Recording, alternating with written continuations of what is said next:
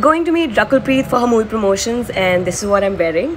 This is a cute little outfit. I'm not ready yet, and I'm. I don't understand one thing. Why is there no button? I feel naked. I'm getting Komal Pandey vibes. It's cool. So they called us to Novotel Juhu and made us watch the movie trailer, which is very educational. She talked about sex, which is a taboo in India. I'm looking forward to watch this movie. Also, we got a chance to meet her. She looked stunning and she was really sweet as well.